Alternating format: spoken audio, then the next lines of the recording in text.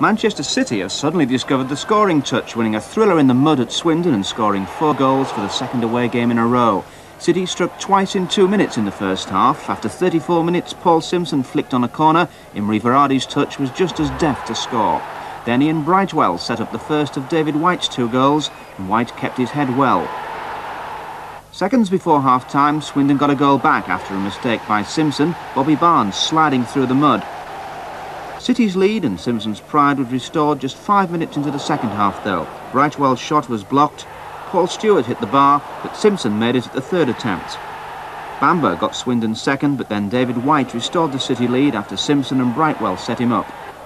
Foley hit Swindon's third thanks to a deflection, and City had an agonising final 15 minutes, but they managed to hang on.